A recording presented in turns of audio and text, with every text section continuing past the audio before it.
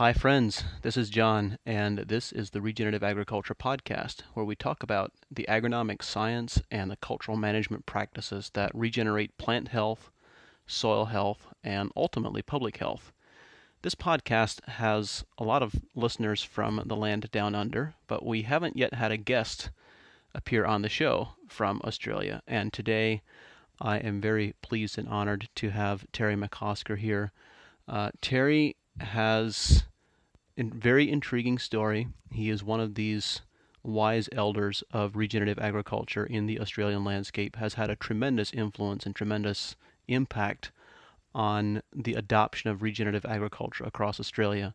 So, Terry, I'm very excited to have you here and to get you to share some of your wisdom with those of us here in the States. I think there are many people in the regenerative agriculture space here in North America who haven't heard your name, who are not familiar with your work.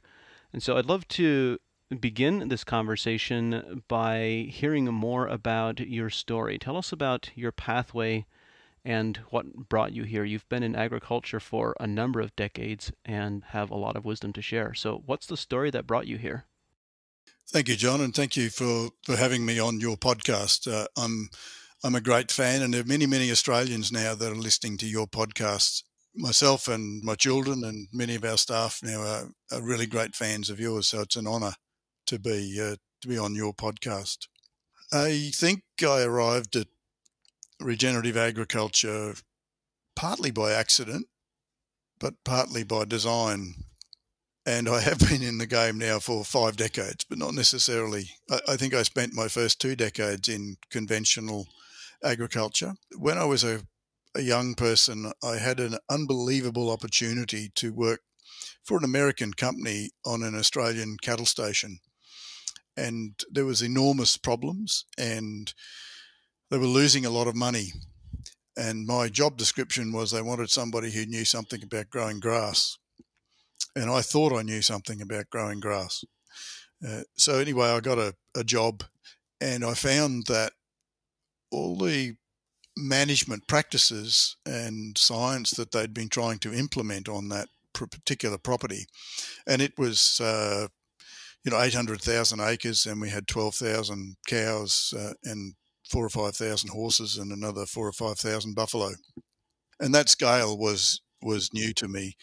But when I went for the interview, it was a three day interview, and they said, "Well, you've got the job," and I said, "Well, I don't want it," and uh, they said, "Well, why not? And I said, well, I don't know anything. You know, I, I, have never worked in this environment. I don't know these trees. I don't know these plants. I don't know these soils. I've never worked on anything of this scale. I don't think I can help you. And they said something to me then that uh, I have never forgotten. And they said, no, we want somebody who has no preconceived ideas. So on that basis, I took the job. And I spent time looking at what was going wrong in the business and particularly with the ecology. And there was a lot wrong. And at the end of six months, I said to them, Look, just sell up and get out of here because what you're trying to do is not working. And they said, Well, we're not used to walking away from a problem. Uh, tell us what we need to do. And I was 28 at the time, and I said to them, Well, give me, uh, you know, a, a million bucks in three years and I'll sort it out for you. So they said, well, you better do it.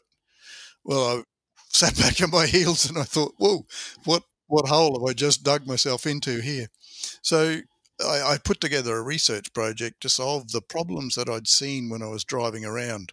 And a funny thing happened. Um, I put this project together and then my intuition started playing up and my intuition kept saying to me there's something wrong with this and so I said to one of the guys I was working for, I said, look, there's something wrong with what I've just put together to research. And he said, what is it? And I said, I don't know. But I said, I, I need to go and talk to more people. So what I did was I went back to my roots in, and I used to work for the Queensland Department of Primary Industries and, and had good connections with, with uh, a lot of scientists in CSIRO. So I went back and met with a lot of those people and spent three to four weeks and what happened was every time I explained my situation, I actually learnt more about what it was. And it wasn't necessarily what people said to me, but it was me having to repeat my story. And every time I repeated it over about three to four weeks, it got clearer. So I flew back to the station after that and I, I said to Cliff, Well, Cliff, we've got to go 180 degrees away from what we've just decided on. And uh, we sat down on our front lawn for two days and argued. And at the end of two days, I had him convinced that we needed to change 180 degrees. And the guys, this few executives were coming out from New York a week later to approve the first R&D project I'd put together. So I sent them off a telex. So this is back in the 80s and said, you know, I've changed my mind. We need to do something completely different. So they, they came out and I gave them about a six page report on why we needed to do something different. They came to the station, grabbed that report, went straight back to to town and and stayed there for about three to four days. And we found out later they were trying to sack, get rid of Cliff and myself because we'd we'd lost it. And anyway, they, they couldn't replace us in three to four days, so they came down to have it out. And we spent another three days with a big whiteboard sitting in a shed arguing. And at the end of three days, I had them convinced that where I'd got to was right. That's an unbelievable thing to get these very senior executives with a lot of wisdom and age behind them and a 28 year old kid basically saying that everything you've been doing for the last 12 or 13 years is wrong and so is all the science and let's start again and i guess that was one of my real epiphanies and i I knew then that I didn't know anything. And so I had to work out everything from first principles. What was the conclusion that you came to? What was the pitch that you were presenting them that was so different from the mainstream? Well, in the, the Northern Territory, it was in those days the common form of production. It was it's very extensive, and it was basically cattle hunting. So there was no fences and no infrastructure, and you would go out with a team of people, and, and helicopters were just starting to come in in those days, and you would go and find cattle and bring them in, and anything that was big enough to sell, you would just put it on a truck, and if the price was okay, you'd send it off to the abattoir, and then you just let everything else go. And if the price was right next year, you come back and do the same again. So there was absolutely no control. There was no animal production. And the production in that system was very, very low, but so were the overheads. And what they had done was moved into what I would call middle ground. So the option was they were running, we're running basically a beast to 100 acres, and we were getting 44% calving, uh, 15% mortality in cows. But in under that old system, that was okay. You didn't measure any of those things, and it was cheap to do. The alternative to that was go to a complete high input system where we develop pastures where we could run, you know, a beast to two acres and get improved animal performance and total control over the system. But where they were was in no man's land. They were sowing legumes into native pasture and putting superphosphate on. I remember the first year I was there, they'd ordered a thousand tons of superphosphate, and one of my first jobs was to go out with aircraft and spread that superphosphate over thousands and thousands of acres. And it was really a waste of time. So the basic that I got back to was said, well, we're throwing phosphorus on the ground to try and get it to an animal. We're planting legumes to try and get protein to an animal. Why don't we just feed protein and phosphorus directly to the animals and then go and develop replacement pastures for at the high input end. And where that ended up was still had low animal performance, but had built high overheads into the business. So they were actually in no man's land. And so what I said was, we've got to go back to the two edges, get out of where you've been, and we have to develop the technology to feed animals and manage them extensively and increase the reproduction rates and decrease the mortalities. And then we have to develop pasture systems that are more intensive from scratch. And that's what we did. So, how did you approach regenerating? I, I suppose regeneration is not quite what you're describing yet, but uh, how did you approach implementing these changes on that type of scale? And then what happened a few years after? we did very extensive research, and my breeder trial, my cow trial, for example, I had uh, 1,300 cows on 20 on 30,000 acres with a number of treatments looking at reproduction, looking at nutrition, a whole range of things. And that was, uh, and, and I took the, the carry, the stocking rate rather down to a beast to 35 acres. And then at the other end, we um, screened a whole lot of plants that I got from the scientists and that were that had been brought in from all over the world. And so we found plants that were going to grow in that environment as a result of that. Where we got to was we actually solved every problem we set out to solve. We also found a lot of problems we didn't know were there on the way through. And with the the cow herd, for example, we took the mortality from 14% down to 2%, and we took the reproduction rate from 44% up to 72% and increased the weight of calves taken off, etc. So we'd significantly increased productivity. But one of the things I noticed was that even when we shifted from a beast to 100 acres to a beast to 35 acres, our desirable perennial grasses were in decline. And within a four year period, I was measuring a decline in those good quality grasses. And so I went looking for solutions to that. And I brought a number of scientists in and I drive them around and say, look, this is what's happening. You can see these plants, you can see things going out here. What's happening?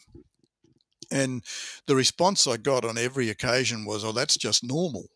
And I tucked that away and I didn't want to accept that that was normal. And it wasn't until five years after that that I then met Dr. Stan Parsons, a Zimbabwean who actually had introduced cell grazing to the US with, with Allan Savory.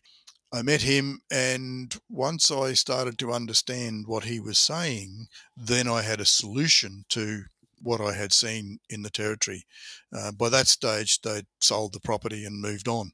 But for me, one of my big learnings was I learned not to be a reductionist, but that we were working with systems.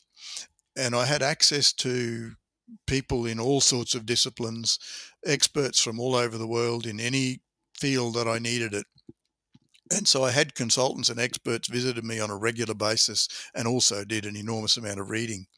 But what I found was that a lot of you know, you would get an expert would come along and with their blinkers on, each expert could solve 80% of your problems. And, you know, mathematically, you get 10 experts together and they're each solving 80% of your problems. That, you know, straight away, that doesn't work. So, what I developed the skill to do was to pull out what would work and how that would fit into an overall system that had a design and outcomes uh, around it. And I guess that was my first stage towards moving towards being uh, holistic and was really developing that systems thinking and challenging everything that was going on around me. I didn't accept after that conventional science and, and stuff that was published. If it didn't fit and it didn't look like it was right, then it wasn't right. I didn't accept it. You were then very influential in bringing cell grazing and Stan Parsons' work into Australia on a really significant scale following this. Is that right? That's correct. So, yeah, 89, uh, I first met Stan, and, and immediately we decided to work together and bring stuff to Australia. I was still quite skeptical about the cell grazing stuff, but everything else he was saying made a lot of sense because it was it was holistic. He was dealing with the people issues, the financial issues, the production issues, the ecological issues, the grazing issues. All of those things were fitting together into a neat a neat package. And for a while, I was actually quite skeptical, thinking, well, nothing's that neat. You know, it can't be that neat because I was coming from reductionist training and, and actually reductionist experience, it took me a little while to accept holism, but not not just holism, but accept that when you work with Mother Nature, she actually works with you, and it does work. It does fit together, provided you get out of the way and let nature do what she wants to do.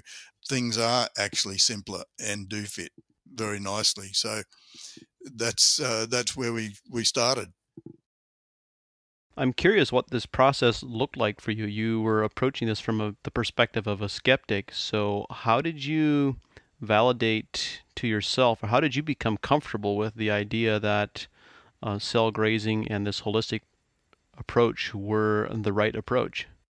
So, firstly, I was threatened by a very senior officer in the Department of Primary Industries that uh, said, Look, I hear you're bringing Parsons to Australia. And I said, Yep. He said, Well, we've got a pile of literature three inches deep showing how Parsons and Savory have destroyed land all over the world, wherever they've been. And we're going to run him out of the country. And if you get mixed up with him, you're going to go down with him. And they tried very hard to put us out of business and very, very nearly succeeded. And so I had to decide who was right. Was was all this literature right, or was Stan and Allan Savory right? And I was very fortunate to get a Churchill Fellowship. And that Churchill Fellowship enables me to travel through the United States and through Africa, through Zimbabwe, Namibia, Botswana, South Africa. And I went everywhere where Parsons and Savory had been. And I went right back to their roots. And I visited places, people they'd trained, I visited people they'd worked with. And very, very quickly, it became very evident that the holistic approach and certainly the cell grazing approach to grazing was the answer to a lot of issues that uh, we were seeing in our ecosystems. And so that trip very quickly confirmed to me that I was right, that they were right, rather. And then I had to decide well, how am I going to handle the opposition? Because every scientist grassland and rangeland scientist in Australia was dead against what we were saying. And the opposition was, it was phenomenal. And we tried to talk to them and tried to reason and ask them to come and see what we were talking about and what we were doing, and, and that didn't work. And I remember sitting in Harare in Zimbabwe for a few days waiting for an aircraft to fly home, writing up my report and I had to decide how was I going to handle this opposition when I got home. And I decided there and then that I would never again try and convince people that did not want to listen, and I would only work with people who were ready to listen. And that's what I did, and away we went. And it's grown enormously from there, and that strategy has worked really, really well. When you say it has grown enormously from there, I think that's a statement that needs some clarification for our audience. It's my understanding that you have worked with uh, close to 10,000 farmers, approaching 10% of Australia's farmland that has been uh, under your coaching over the last three decades. Yes, it is. It, it does cover a little bit of landscape. Not all of that by the way, has been successful. You know, people uh, make mistakes, don't actually get the principles or don't get the holistic approach because we've all been raised in this reductionist approach to everything. And getting that head shift is quite significant. Charles Massy, who uh, who wrote the book uh, Call of the Reed Warbler, uh, his claim, and he, he did his PhD on looking at uh, regenerative agriculture and most of them, a, big majority of the people that he interviewed were actually were our clients, and he came to the conclusion that I'd influenced more landscape positively in Australia than any other person. Um, so that was that was Charles's um, take on it. It's not something that we claim, but it but I'll take it. Um. yeah, it's a significant compliment. What was that pathway like from those early days of learning about holistic management and Stan Parsons and Allan Savory's work, bringing that back to Australia. What was the pathway from there to your organization of RCS as it exists today? So RCS had actually existed for five years before we went down this track. So we were a conventional sort of uh, consulting firm, not making much money, not making any headway. And uh, then I met Stan, and I realized then that what I had to do basically with the rest of my life. And so we, I committed, Pam and I, my wife and I committed to going down this holistic track and introducing this stuff to agriculture in Australia. And so initially it was Pam and I, and Stan would come out two to three times a year. And, and initially he would do the teaching, and it took me about three years before uh, he would allow me to do any teaching. And I was doing consulting and follow up in the background. And we realized very early on that the numbers were building quite quickly, and therefore the ability for me to consult and follow up with all those people was very limited. So we started developing group work, and one of the concepts and products we developed was uh, a process called Executive Link, which is a peer to peer learning and support process. And it's probably one of the most powerful things uh, that we've done. And Executive Link, where we put businesses together in boards of six businesses, and each business then helps the other business. And so you end up with two very powerful things. You end up with peer support for tough decisions, and you end up with peer pressure when actions are not happening. And the combination of those two things creates massive change and gives people the confidence for the sort of changes that need to be made. And so in the first three years of Executive Link, it was not very successful. We had uh, about a 50% attrition rate.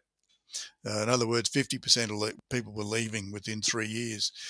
And so at the end of that first three year period, I sat down with uh, one of the great guys that was working with me at the time, uh, Stuart MacArthur, and we said, righto, what's what's wrong with this, and how do we fix it? And we interviewed a lot of the people that left, and we also worked out ourselves what was wrong. And one of the things that was wrong was there was no accountability in terms of economics. So I then built, uh, worked with a local university to build our own benchmarking and business analysis software. And once we got that software into it, and then everybody was benchmarking and analyzing their, their numbers in a very consistent way, and those numbers were on the table, the honesty levels changed and we had some real stuff to work with. Uh, and that was one of the catalytic things that, that changed the, uh, the way it operated. And we changed some of the just sort of processes and, and the way we were doing it. And so that was about uh, 94, 95. We got that really starting to crank. And in the last 25 years, it really hasn't changed much uh, in format, and it's still as powerful as it ever was. And what happens in that process is that it takes a little time to build trust. But as that trust builds, more and more stuff comes out. And my experience indicates that the biggest holdup in every business is not economic and it's not ecological, it's it's people and it's people issues, it's communication, it's intergenerational communication and issues, it's gender communication and issues. And once people are in a in a very, very safe environment and they can start to bring up those very, very personal issues, it's then possible to shift some of those people issues. And at the moment those things are out of the way, everything else then flourishes. Getting a very clear vision and way forward that's agreed is a real key to going from there. I've always been intrigued by the process of or trying to understand what is the process that we use to make decisions that we as humans use to make decisions and it's it's interesting actually when you dig into the science a little bit to discover that fundamentally not a single decision is ever a logical decision, but they're all emotional. And uh, there's some really interesting science behind all of that. I was intrigued a moment ago. You mentioned Charles Massy's book, The Call of the Reed Warbler, in which he described that of the people that he interviewed, 60% of the farmers began adopting uh, regenerative agriculture practices as a result of some personal crisis. And whether that was a health crisis in the family or an economic crisis on the farm. But then it wasn't clear to me, or perhaps I missed it, it wasn't clear to me what about the remaining 40%? And has that 60%, 40% shift been true historically? Is it beginning to shift now? So I'd, I'd love to hear your perspective. Um, are more farmers, now that you have if you have impacted personally and through your organization, if you have impacted 10% of the agricultural landscape, is it approaching the threshold where it is becoming normal and people adopt a different management practice without the personal crisis? What does the future so there's kind of two questions here. One is what's the process that farmers go through to arrive at this decision, and uh, how do you see that changing and shifting in the future at all? I believe it has shifted. Our biggest selling point is word of mouth. And uh, so our clients tend to come from recommendations, uh, and that usually there's family, and then there's friends, and then there's local you know, people in the local district, and so little groups and hubs start to develop. What I find now is the thing that probably drives the change and drives people into the education more than the crisis is funding. And when there's funding available for education, people will come and do it. And it's a strange thing. It's it means that people are not valuing knowledge as much as they should. They don't value it as something that they should invest in. But if the government comes along and is prepared to invest in their education, and that education is the right education, and it then turns them on to learning, then they're on a life lifelong learning journey from then on. It's interesting that I think the schooling experience has, I believe, has actually turned off a lot of people to be learners. And once they have a really good experience with learning again, then they become much more interested in continuing to learn. So I'm finding at the moment that probably 20% now of the people coming through our programs are now second generation. In other words, I have I've taught their parents, and these are now people in their late teens uh, to through to mid 20s or so that are now coming through. And I've been around long enough now to uh, I'm up to number nine of the of grandchildren. So, in other words, I taught the grandparents, the parents, and now the grandchildren. That's very rewarding to see the next generation that's grown up with some of these principles coming through just as part of their education as a standard part of what they need to do. We're also finding that the cohort that we're getting has changed age when we first started, and I would say for probably the first 15 years, as, as, a rough rule of thumb, the majority of people that were coming to our programs were from 45 up. Now, the vast majority are from 45 down. And one of the, for the first 15 or 20 years, one of the biggest obstacles we had to deal with continuously was succession.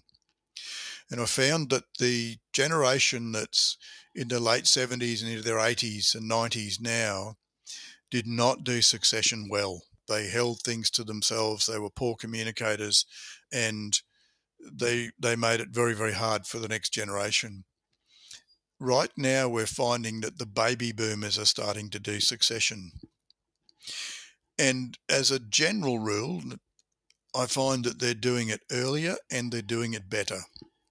And so I think that's a reason why we're getting a lot of younger people coming through. So now, whereas 15 years ago, we would have had, uh, in Executive Link, for example, we would have had 70 to 80% of the people would have been dealing with a, a succession trauma. Now it would be 20% or less, and 80% have completed it and now have debt, have control, and are coming to learn and change so that they can make a difference and uh, have a really good business and a really good life moving forward.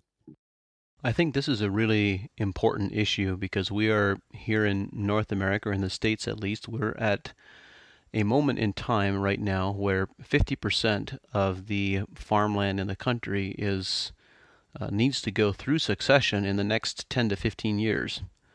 And uh, that's that's more farmland changing hands than has ever changed hands in such a condensed period ever before in history here in the country. What advice do you have for uh, people on both ends of that succession process? How what have you observed that has made that what what what has brought about to this shift from the prior generation to the current generation, facilitating succession much more smoothly? Firstly, it's being talked about a lot more there's you know, there's field days and there's uh, workshops and all sorts of things now where succession is being encouraged and talked about. I think that's the first thing. In terms of supporting succession, in my mind, there's absolutely no doubt that the thing that makes it either smooth or bad is communication. Part of that communication is respect. So the and it's respect in both directions. Younger generation must respect the ownership of the older direct uh, and the knowledge of an older generation, and the older generation must respect the needs of a younger generation. The worst thing that I think families can do is go and talk to lawyers and accountants to have them do, deal with succession. Immediately, that just starts the thing down a track of dealing with function, dealing with structure, rather than with communication. So, my belief is that they need to do some training themselves in communication and learn how to communicate better, understand different personality types. All of that makes a big difference. So, communication, firstly. The second point then is that once you're able to communicate, honesty and putting things on the table, including goals and visions. It's surprising how many times the older generation expects the younger generation wants to come home and take over the farm when the younger generation is only there or doing it because they feel obliged to do it and it's not actually their real dream. And I think one of the things that has to happen very early is everybody's goals, visions, and dreams need to be on the table. And succession needs to be a process and a discussion that takes everybody towards their dreams and not just assume that that is a farm. And I find in the older generation, there's many, many women that, uh, particularly in in uh, remote areas, that have spent given up their life to be on the land and, and in remote areas and really want to spend the last 20 or so years of their life back in society and, and doing other things. And so, again, there needs to be a little bit of uh, give and take, even within generations, as to where we go. But it's absolutely important that all of that's on the table and understood. So, communication, goals, visions, respect, and then I think facilitation. I think it's important for families to have external facilitators to help bring together and use a process to facilitate succession. And those facilitators should not be the family accountant or the family lawyer. They should be people with skills in facilitation because you you're going to be dealing with tears, you're going to be dealing with all sorts of emotions. And this is an emotional process on both sides. And we all need to understand that. And it's not easy for any side. So I think those are the sort of ways that we uh, tend to try and help it. I find I'm intrigued by the direction this conversation has gone rather than having a conversation about agronomy and field management, as you mentioned early on, it is really about people. And so the the question that I have in in your you, you obviously have had a tremendous influence and impact, which means that RCS as a consulting organization has been successful at guiding and supporting and helping people rather than just focusing on the agronomy or regenerative management or grazing or whatever the agronomic context might be. So, my question for you is how have you done that? What has what's the process look like of really supporting people? Okay, there's two things that you're dealing with. One is wants and the other is needs. And the thing that most people will talk about is their wants. If you start asking questions, you'll get the wants. You won't necessarily get to the needs. And I think the key to our success is that we tend to market to wants and we start with wants. And wants are meeting people where they're at. But over time, you've got to meet needs. And needs are deeper. And to get to needs and feelings, you've got to have a level of trust, level of understanding, and we find that having common language. So we use a process where we have a a school up front, which is seven days of very, very intensive education. And we don't expect people to remember more than, you know, 20% of it. But it's a process that's designed to open people's minds and break down paradigms and create common language. And when you've done those three things, you've got an open mind, you can challenge paradigms, and you've got a common language and potentially a common bond, then it's easier and faster to get to those needs and feelings. But we will be dealing with the production and the business and so on on the way because the businesses have to be profitable and they have to be regenerating regenerating landscape and regenerating business. So for 20 odd 25 30 years we've been talking about renewal that there's four key things in that you've got to renew and that's the the people and our attitudes and so on. You've got to renew the business and our understanding of business. We have to renew the ecosystem and the productions uh, and the, the landscape. And we have to renew the production systems, whether that's in cropping or whether that's in grazing. So we work with those four key sort of foundational elements. And at the pace and in the direction that people need at the time. And once you've built the rapport and the trust, then you will start moving into the, the people stuff. Um, but often you build the trust by getting it right uh, and giving the right sort of advice or very useful advice on the production issues and, and business issues where people can save money or make money uh, fairly quickly. It changes from person to person, business to business, the order in which things happen because we sort of have a a floating process, if you like. And all of our coaches uh, and advisors, uh, I think pretty well everyone that I employ today has been taught by me, and they're all ex clients. So they've come right through the process. Some of them are, are still on the land and still uh, producing, but they want to give back. And some of them are now retired and full of wisdom and experience. And so they have the breadth of knowledge and experience to sit down at a kitchen table with either a 20 year old or a 70 year old couple, for example, and deal with whatever comes up. And I find that that is what's important. And it's that ability to deal holistically with with whatever the family is dealing with. So we I class myself as a specialist generalist and I don't think there are very many specialist generalists. There's a lot of specialists, but generalists who specialize in being generalists, in other words, that can put the big picture together and understand all the bits, that's rarer than specialists. Uh, and I think our need is for more generalists who actually understand to a degree the specialties as well. When you use the terminology of holistic thinking, and this has really come out in this in our conversation so far already, how you integrate the people and the landscape and the ecology and, and all of these different pieces, but how has your own thinking evolved over the decades that you have been in this process? How how would you describe uh, your own holistic thinking today compared to, to your thinking five decades ago?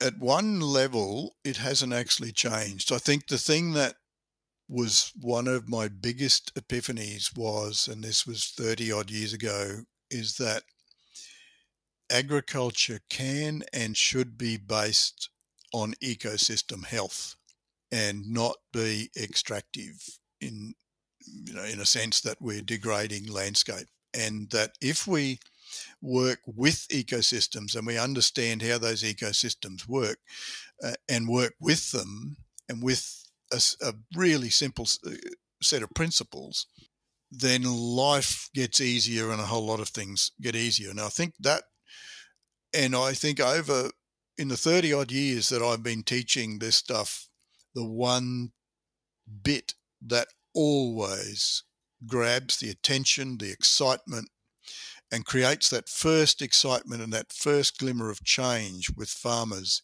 is understanding they're working on an ecosystem and understanding that there's a few tools that they're using and they're using them either to damage it or to improve it.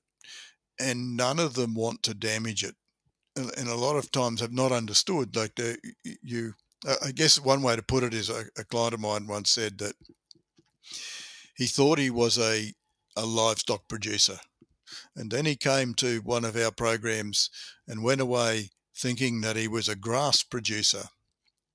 And then over time, as he's learnt more and more, he now believes he's a soil manager. And it's that change uh, that, if you understand then that if you're a soil or an ecosystem manager, the production will actually, and the economics will actually look after itself. So that I don't think has changed.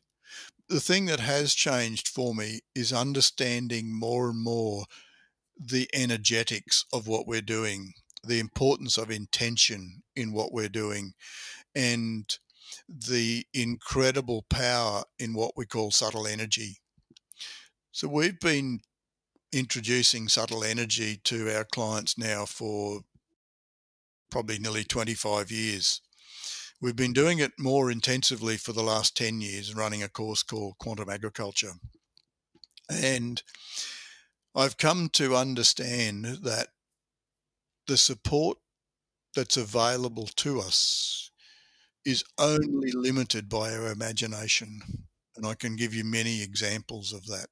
So, and I guess the more I've learnt and the deeper I've come to understand that, the more I've started to understand that to be truly regeneratively regenerative, a farmer needs to understand that they are a part of the ecosystem, not apart from it. And when you make that switch and then start working at an energetic level, the sky's the limit. I think it's amazing what you can do and what you can produce in landscapes. When and, and in fact, talking to and working with landscape, working with soils, working with plants. You know, we had a I'll give you an example of how landscape can react. We uh, was doing a carbon project with one of our clients a few years ago, and we we'd gone around with a with a corer and drilled about 300 holes on his property. As we were finishing that, he had cattle in the yards, and the cattle got very you know um, unrestful and jumped out of the yards and and sort of bolted, and they've never done that before. Now, fortunately, he was switched on to what had actually happened. And the landscape had reacted to the fact that we'd gone around and put these pinpricks in it uh, and not explained to it what we were doing or why we were doing it. We immediately explained to the landscape what we were doing and why we were doing it. And the whole thing settled down. The animals settled down.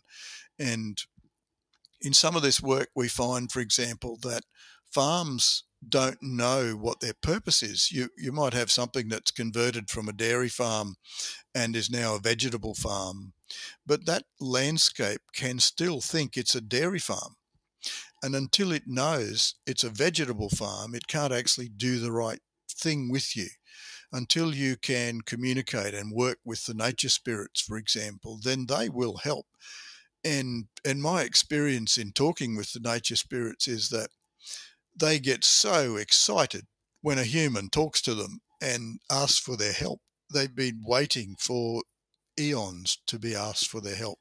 And so I think that's probably the level of understanding that's grown over the last 30 years around regeneration of landscapes and not just landscapes, but human health as well. I find it interesting that this energetic aspect of agriculture has my perception is that it has become very widely adopted in Australia. Uh, obviously, that's my perception from a distance. I don't know that to be true for certain, but I know that um, here in the states, there is the comments, the statements that you just raised, that you just spoke about, would raise a lot of eyebrows and a lot of question marks. Uh, there is still a strong desire for the kind of the scientific perspective. How how do you reconcile the this energetic component with a scientific perspective that you have come from historically? That's a great question, John. And wasn't until I read a book called The Field um, which explored consciousness, that I started to realize that there was um, there was a lot of science behind this, and that science is in quantum physics. And I've tried to read a couple of quantum physics books, and and the author of one of those said, if you think you understand quantum physics, you don't understand quantum physics. You know, I believe that the science for this is certainly in quantum physics, and uh, and the understanding of it is is there and and has been explained if you can understand the language.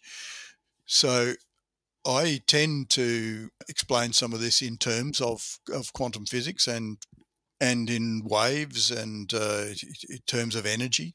Uh, and don't get me wrong, there'll be a lot of people uh, in Australia that will think I'm a nutcase as well by telling you what I've just told you.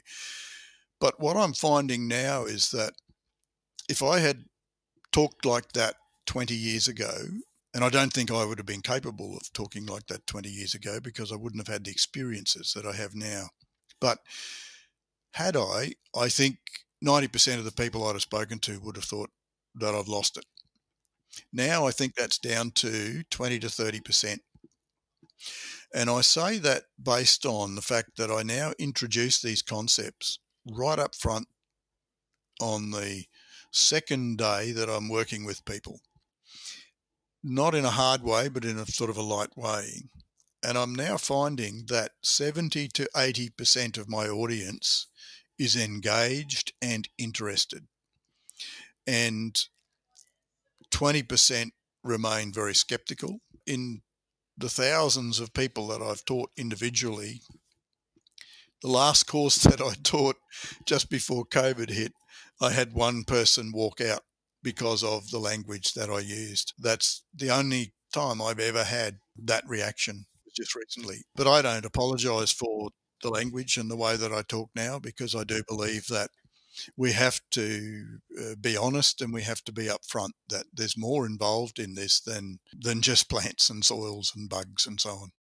Yeah, I think that's something that uh, it's it, it's interesting actually, and I've spoken about this before here on this podcast and other places that when we are speaking about livestock production, it is almost expected that good livestock managers have a sense of connection to their livestock. They intuitively know when one of them is off or when one isn't feeling well, even when there is nothing physical that they can point to. It's just an intuitive sense that they know something is wrong. We think that that is normal or common or even to be expected of good livestock managers, but we don't often transfer that same perspective to working with the landscape, working with plants and soils and the landscape as a whole. When in reality, what we have observed is that generally the farm managers who produce the best results the most consistently are those farm managers who have developed that empathy with the landscape. Yeah, and I think probably the one of the ways in which I get people engaged is actually give practical examples because I don't think this is is so scientific that it's not practical. I'll give you a couple straight up. One is uh, a, a guy who tested this with uh, sheep, and he was sending truckloads of sheep into a, a large market. So there's 10,000 sheep for sale most weeks at the sale, and he would send uh, truckloads in. He did this four times in a row over two months.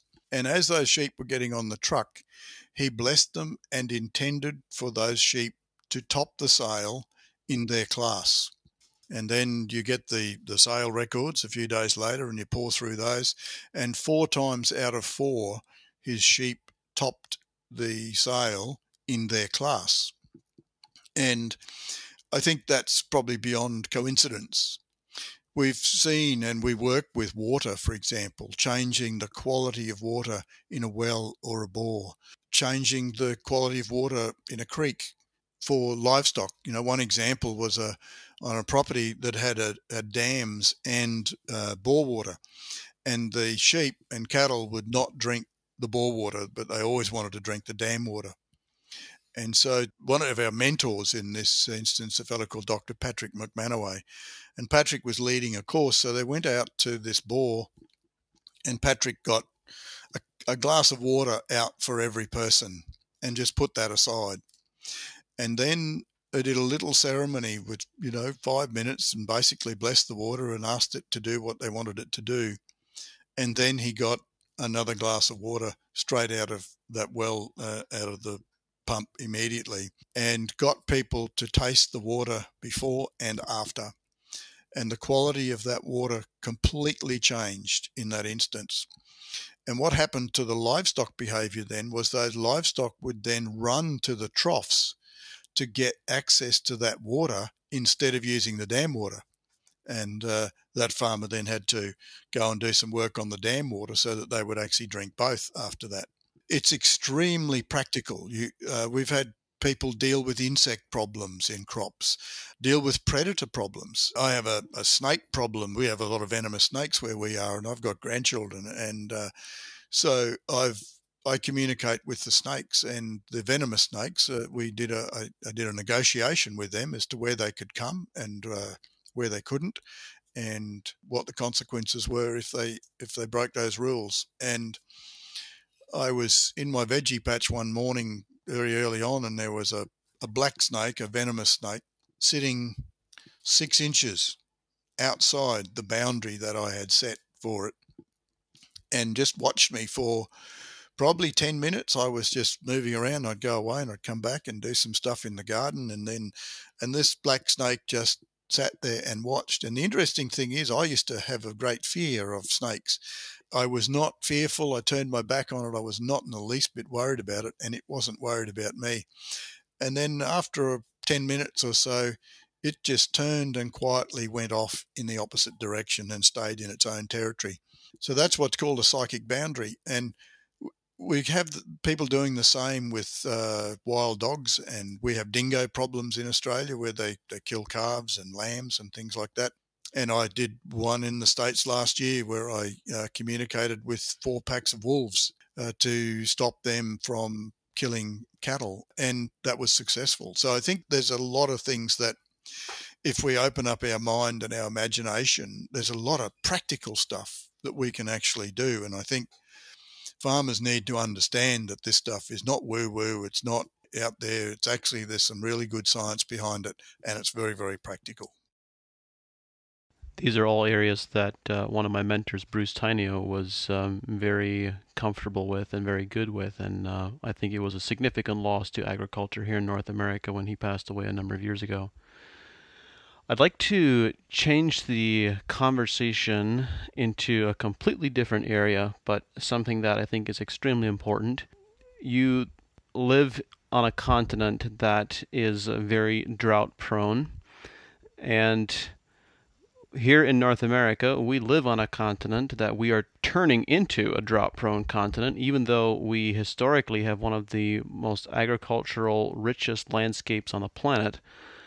And uh, you wrote an article a couple of years ago on how droughts are man made and that we are creating our own droughts. I think this is something that you have a particularly important perspective on that I really would want to hear your thoughts about. So, how are we creating droughts? How have you created droughts in Australia? And uh, how is that information transferable to our ecosystem here in North America? It was an old comedy show in the uh, in the UK back in the fifties.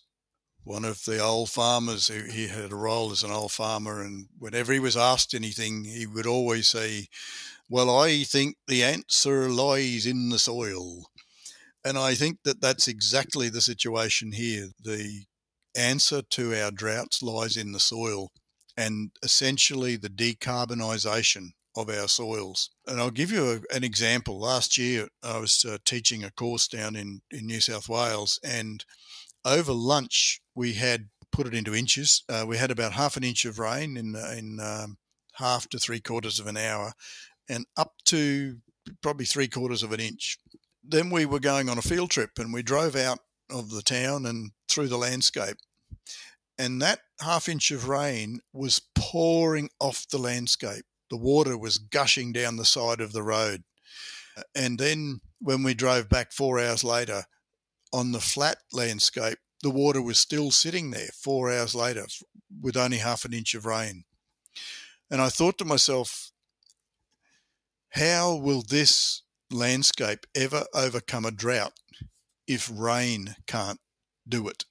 You know, if we can't get moisture into the soil. It was a beautiful soil and beautiful uh, landscape, and it's been completely denuded. And that's happened through overgrazing, overstocking, overploughing, um, you know, all the old things that we know about. We drove for an hour through that landscape before we got to one regenerative farmer. And on that property we got to, the water was still rushing off the hills on the neighbouring properties and coming onto their property. And within 100 to 150 metres, that water was just disappearing straight into the soil. It was a great demonstration to everybody there about the just the difference. And so and the only difference was that the people we'd been to had managed their livestock so they weren't overstocked. They'd maintained ground cover. They were still in business when the people around them were were feeding stock. And then a, a, a woman wrote to me and she'd been driving through a long drive and she wrote and said look I've, i'm seeing a decline in in our landscape compared to 10 years ago that made me think about our social license to continue agriculture. And I think that if we don't start changing what's happening out there, we will lose that social license. And I, I don't think we should overestimate how important that is to us. So we've got to get back and start managing soil. So we've got to manage plants, we've got to manage soil, we've got to manage animals, and we've got to recarbonize, which means we've essentially got to manage biology. And the basic approach that, that we take is the old Hippocratic oath is first do no harm. And by do no harm, I mean do no harm to soil biology or to soils. And if we can just take that simple little mantra forward, I think we can reverse it and stop the, the desertification of our landscape. And that's what it is it's desertification. I think living in the on the continent of Australia with a much more brittle environment, you are perhaps more used to thinking about weather and impacts on a, on a landscape scale than we are here in North America. So I'd, I'd love to hear your perspective. You used the words a moment ago of the, the small water cycle. So what is the small water cycle? What is the what if there's a small one? I'm assuming there's a big one. How do the two compare, and how can our behavior in agriculture influence them? All right. So the big one is mainly the one that operates over the oceans, and the small water cycle is recycling water within our landscape. There's a number of things that we've done there to change that. So losing the carbon means that we've actually lost the storage, the water storage and water holding capacity within our soils. That carbon's in the atmosphere and that moisture's in the atmosphere. And both the carbon and the moisture uh, and I personally believe that the moisture is probably contributing more to climate change than the, the CO2 is. But we can return that moisture to the landscape, which allows it to recycle on the landscape. The second thing that we've done that has changed the small water cycle is we're maintaining large areas of bare country.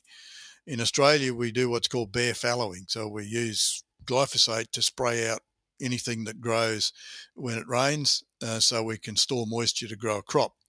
It's um, something that's very, very inefficient. We, we get to store somewhere about 20 to 25% of the moisture that falls, but in the process, we're actually stopping it from falling. So we know from large scale, where landscapes have been cleared on a large scale, that when you've got bare soil, the reflectance of energy from that soil changes and will actually drive clouds away from raining in that area. Uh, and a classic example of that, and I don't know whether this happens uh, in the United States or not, but it certainly happens in Australia. When we have our early storms at the break of a season, those storms will follow a pathway. But all subsequent storms tend to follow that same pathway then. The reason is that the first pathway, they'll generally follow where the landscape is cooler. And then because that's had rain, that landscape is cooler again, and, all, and subsequent storms will tend to follow the same pathway. So, bare land just affects radiant heat, and therefore the weather clouds will hang around. And the third influence of bare ground is not having the Pseudomonas syringae there to seed clouds. So you, you, on our plants, we've got the biology, the Pseudomonas and syringae floats up into the air and seeds clouds before any other particle. In other words, they can colonize water vapor into particles at a higher temperature than dust or pollution particles and then create rain and then down comes the rain brings them back down again they get on our plants again and then back they go to the atmosphere and you then have this cycle. So i, I believe that a landscape that is not hydrated is a landscape that remains sort of drives rain away uh, and lowers rainfall in that landscape and that's the small water cycle. So the small water cycle is transpiration and evaporation, but obviously we want it to be driven by transpiration rather than evaporation. And that keeps it moving rather than evaporation. And it's that cycling back into our crops and our plants that is what we need to maintain. Earlier, you mentioned that we have limited the capacity of the small water cycle because we have decarbonized our soil. We often think of the carbon content in our soil and its capacity to influence soil structure so that we have better water infiltration and better percolation, which are two different things that I think uh, are sometimes forgotten.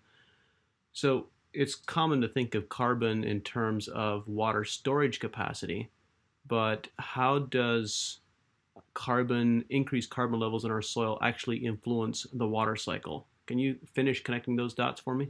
Because when you've got more water stored in the soil, you're able to grow more plants and therefore you transpire. In other words, it's a cycle. The water, it's more able to come from rainfall because you've got plants growing and you've got the cloud seeding happening. And then you've got storage of that water when it does uh, hit the ground, which will then grow more plants, which will create the transpiration, which will then move that cycle around and keep it rolling. If we don't have transpiration, we have evaporation, and then that is water that we have, have made no use of. And it's then lost to the atmosphere, and we don't have the cloud seeding to go with it. And we can also, on bigger areas, we can also be changing the the reflectance, the heat reflectance uh, at a ground level. The carbon, I think, is essential to driving that cycle. The other part of it, from my perspective, is taking that water vapor out of the atmosphere and putting it away in the soil, I believe that that can have as bigger influence, if not a bigger influence, on the climate change than CO2 will have. It's certainly the the impacts of water vapor on the heating envelope uh, or the, the greenhouse envelope of the earth are really significant. I did host Walter Jehne here on the podcast a number of months ago, where he described the impacts of that for us very eloquently. Yeah. Yeah, Walter describes it very, very well.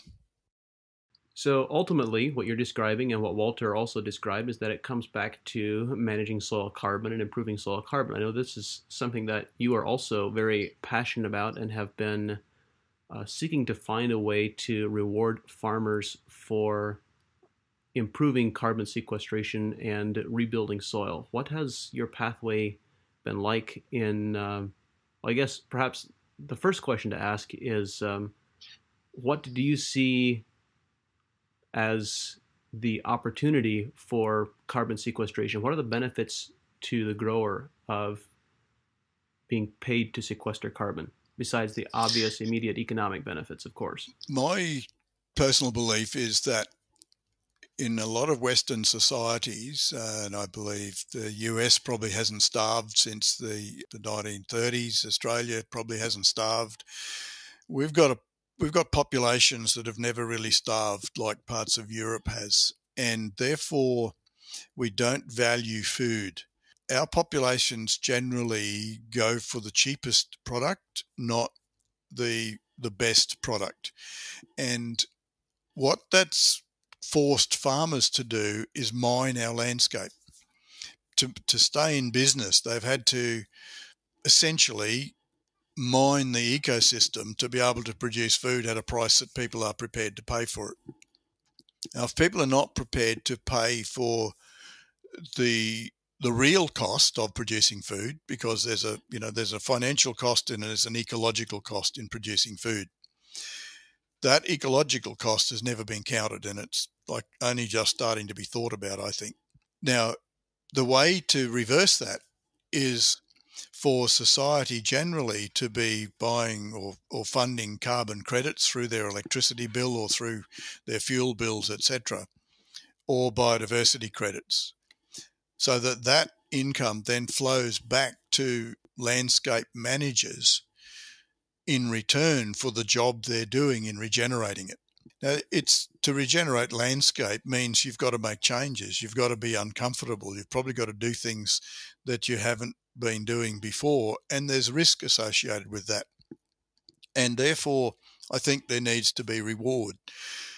And also, as we add carbon to the soil, as you've said many times, we're going to be improving the quality of food. And that food quality may or may not be paid for. But I see particularly carbon as being the mechanism to get additional income back to farmers who are actually doing the right thing. And because it's a credit, and I think it's one that has to be measured, then only those that are doing the right thing and putting carbon away in soils will be rewarded for it. And if society generally is serious about reversing climate change and, and doing something with CO2, the largest tool over or place over which we have control globally is soil. And, you know, there's about just around 1600 gigatons of carbon stored in the top meter of soils globally. We emit about 10 gigatons of carbon per annum from basically burning fossil fuels and making cement. Now, to me, it's not a big ask to take 10 gigatons a year and put it away in, in a 1600 gigaton storage. And there's advantages in that for farmers in all the production uh, areas that you're well aware of and, and they're well aware of. There's advantages to society in doing that by reducing that carbon load in the atmosphere. There's advantages in in being able to affect the climate because those soils are the only place we can actually reduce that additional carbon load that's in the atmosphere. So if we took that up to 20 gigatons a year, put away in a 1600 gigaton storage, then we're doing the right thing for agriculture, for food security, for water security, and food quality, as well as for the atmosphere. And I, I firmly believe that society should pay for that benefit. And uh, so I got involved in, in this about nearly 20 years ago, started thinking about it because we had clients that were obviously sequestering carbon. And I thought, well, wouldn't it be great if we could get our clients paid for that and if I knew then what I know now, I never would have started down the carbon journey. It's been um, one of the most frustrating, difficult journeys that uh, that I've been on at this stage without much reward. But I hope we're getting closer and closer to making things happen. I would love for you to clarify a bit more on the carbon sequestration numbers and the carbon cycle that you were speaking about. You mentioned uh, sequestering 10 gigatons in 16 gigaton storage. Does that 16 gigatons storage capacity renew every year? Do we have a continually increasing storage capacity? Do we fill up that storage capacity once? What do the overall dynamics of these numbers look like that you've been talking about? And then the, well, let's start there. Okay, so let me answer that one first because that's a very, very important question. Agronomically, we've been taught that soils will reach an equilibrium of carbon and we can't put any more away. I believe that's a false assumption, firstly, because we're measuring it as a percentage, not as volume. So, the first thing, you know, and most of our soils are measured in the top six inches. First thing that happens as we start sequestering carbon is it will start going down deeper in our process, we measure down at least a metre and a half where we can get down that far. And we're expecting to fill that space up with carbon. When your surface reaches that equilibrium percentage, carbon will go one of two ways. It will continue to push down or it will continue to grow up.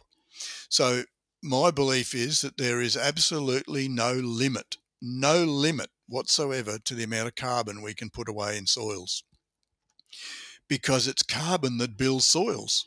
So if we reach an equilibrium in the surface or even over one and a half meters, all that'll happen is we then continue to build soil. And what can be wrong with that? And that's essentially how our soils got built. Those beautiful soils that you talked about earlier in the United States got built by that process and grasslands and grazing animals. So, you know, there is absolutely no limit to what we can put away. And I think we need to break that paradigm. We think about it in terms of percentages, we've got to think about it in terms of tons. In terms of sequestration rates, your soils there, you know, I think have got potential of two and three tons and more per hectare, potentially, you know, up to 10 tons of carbon per hectare per year. That's 10 tons of carbon per acre, roughly the same number. And so if you convert that then into monetary terms, I'll use 10 tons because it's a high number, but it's a round number as well. What you're putting into soil is carbon, organic carbon is what we're measuring. But what you get to sell is carbon dioxide. And the multiplier from carbon to carbon dioxide is 3.67. So 10 tons of carbon added to your soil is 36.7 tons of carbon dioxide. That's actually what you get to sell. So if the price of carbon was $10 a ton for CO2, and that's a low price at the moment in uh, California, it's uh, nearly double that, would give you a gross income there of $360. Well, that's per hectare per annum. So a hectare is two and a half acres in a hectare, which is pretty nice little bit of income on top of what you're already doing. Now there are discounts on that because there are, you know, there's variability in the measurement and there's some discounts that make that a safe thing to trade. But that's essentially how it works. You add carbon, you multiply by 3.67 and you sell CO2. And it's that multiplier that makes it work. And that's the only multiplier that I'm aware of that works in favor of farmers. and it's a significant one as well. So you're describing a fairly significant economic opportunity for farmers. What are the possibilities of this being realized sometime in the near future for growers in Australia? And uh, I don't know if you're familiar with any North American work that is happening, but how, how distant is this in the future? Um, in Australia, it's been possible since 2014. Uh, we actually got the legislation in 2011. Uh, then we got an improved methodology in 2018. So uh, we're currently doing it, and we can sell credits from soil carbon in Australia. So we've got one, our first farmer at the moment that we measured four years ago. We've just remeasured him. He's got 20,000 tonnes of CO2 to sell off a 2,000 acre property. And that was measured over three years, and two of those three years were severe drought. So that's pretty exciting for us to have the first sort of big chunk of carbon credits uh, from soils heading towards the market. And that market will significantly improve. I think, in terms of the, the soil carbon market globally, it is one of the most exciting spaces uh, around the world at the moment. And there are methodologies being developed in the US and in Europe that will allow soil carbon to be done, there's uh, to be measured and sold. What you need is the market to buy it. At the moment, you've essentially got the California market uh, in the US. So unless you're able to sell into that market, you you've then got to look for large organisations that want to offset their carbon. The downside to soil carbon is that you've got to do a baseline measurement and then you come back a few years later and remeasure it. What you get to sell is the change from your baseline to your remeasurement. So you don't actually have anything to sell for a number of years. But I think that there's a lot of interest in, in getting this going in the States, and, and we've got some um, probably some of the best technology in the world now because we've been working on the technology to measure this uh, more accurately for uh, about seven or eight years. We're in the final stages of R&D at the moment, and we'll be rolling out some of that technology in Australia next year and there's interest in um, taking that technology into the US as well now. So I think you will see it within a few years. I think your your market will start to grow. There are traps for young players. I think there's two ways that the carbon market will operate. One is a modeled method. So if you shift to no till, for example, then it's deemed that you're going to sequester so many carbon credits. The market does not like that stuff uh, it, because it's not measured and they don't trust it.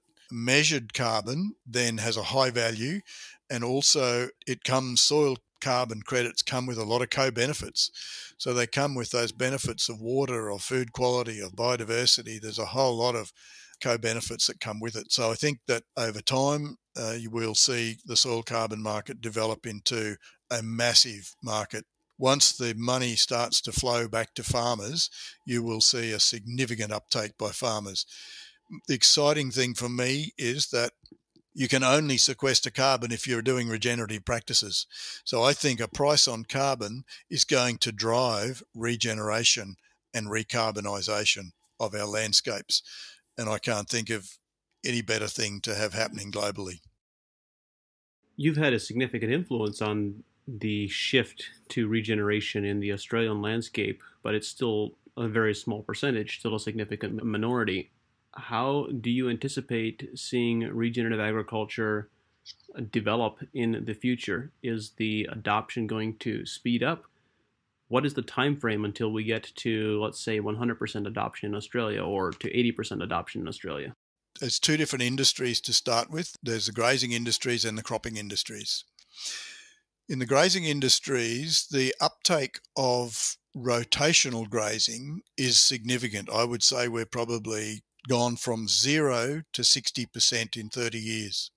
The uptake of cell grazing, the more more intensive stuff, we're probably still sitting around three or four percent. But we have shifted the paradigm, and that now is becoming the norm. In the cropping industries, I think we're at the very bottom now of a curve that's likely to start to accelerate. There's a lot of interest in regenerative ag but there's a lot of a lot of questions on the transition from where we are to where we want to be. And that's a, an area where I would dearly like to be working with you, John, and your expertise, and we can bring some of that into this country. I think we can accelerate that. But what we're doing at the moment is I tend to work now as well at a political level and have a bit of influence. And we're now looking to pull together a large training project funded by the federal government, putting $50 million over the next four to five years into educating around holism and regeneration. And and then putting a lot of emphasis into that transitional phase. Our focus is if we can get the next 10% within, and I think we can within a five to 10 year period. And I think with the focus we can put into it, perhaps within five years we can get the next 10% of the cropping industry. Once we've achieved over 18 to 20% of the industry in transition and and starting to get carbon credits coming back into their businesses, I think it will start to normalize after that, and then we'll see a natural progression, probably through to about 80% within the, the following 20 years. That's the sort of trajectory that I would see at the moment. That's really encouraging and exciting to hear about the significant levels of change that have already occurred. Terry, I want to say thank you, a very big thank you for all the work that you have done over the decades. Thank you for sharing your wisdom with us, uh, with me, and with our audience here. And I look forward to having more conversations with you in the future. Well, thank you, John. And I hope that uh, my accent wasn't too hard for people in your part of the world to understand. The team at AEA and I are dedicated to bringing this show to you because we believe that knowledge and information is the foundation of successful regenerative systems. At AEA, we believe that growing better quality food and making more money from your crops is possible. And since 2006, we've worked with leading professional growers to help them do just that. At AEA, we don't guess, we test, we analyze, and we provide recommendations based on scientific data, knowledge, and experience. We've developed products that are uniquely positioned to help growers make more money with regenerative agriculture. If you are a professional grower who believes in testing instead of guessing, someone who believes in a better, more regenerative way to grow, visit advancingecoag.com and contact us to see if AEA is right for you. Thank you for listening, and we look forward to working with you.